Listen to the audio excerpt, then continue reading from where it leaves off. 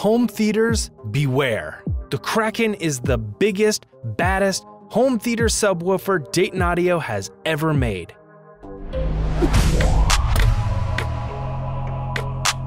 First, let's look at the massive treated paper composite cone that features a huge double stitched SBR foam surround. This 21 inch driver is capable of incredible output levels.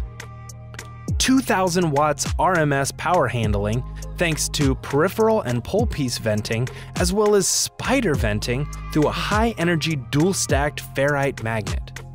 With a large 5 inch voice coil and unique dual spider design inside of a heavy duty cast aluminum frame with a durable textured black finish, it's no wonder this subwoofer is a beast.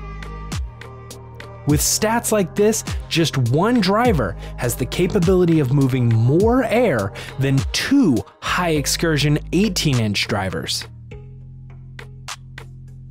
A true monster of a driver, Dayton Audio's Kraken comes from the abyss to take you down into the depths.